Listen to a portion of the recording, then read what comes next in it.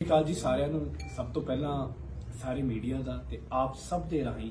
ਪੂਰੇ ਪੰਜਾਬ ਦਾ ਤੇ ਮੇਰੇ ਹਲਕੇ ਦੇ ਸਾਰੇ ਵੋਟਰਾਂ ਦਾ, ਸ਼੍ਰੀ ਅਨੰਦਪੁਰ ਸਾਹਿਬ ਹਲਕੇ ਦੇ ਵੋਟਰਾਂ ਦਾ ਲੱਖ ਲੱਖ ਕਰੋੜ ਕਰੋੜ ਧੰਨਵਾਦ, ਜਿਨੀ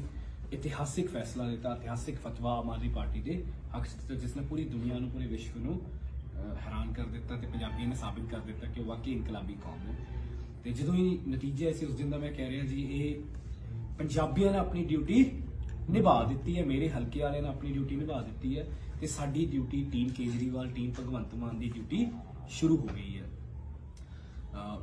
ਬਹੁਤ ਹੀ ਜ਼ਿਆਦਾ ਪਿਆਰ ਇਸ ਹਲਕੇ ਤੋਂ, ਇਸ ਮਹਾਨ ਪਵਿੱਤਰ ਧਰਤੀ ਤੋਂ। ਬਹੁਤ ਹੀ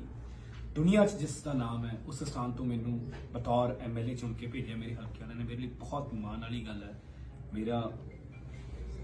ਜਿੰਨੀ ਮੇਰੀ ਜੀਵਨ ਲਿਖਿਆ ਤੇ ਮੇਰਾ ਪਰਿਵਾਰ ਸਦਾ ਹੀ ਆਪ ਸਭ ਦਾ ਰੰਗੀਨ ਰਹੂਗਾ, ਖਾਸ ਕਰਕੇ ਕਿ ਤਕਰੀਬਨ ਤਕਰੀਬਨ 58% ਵੋਟਾਂ ਪਾ ਕੇ ਪੂਰੇ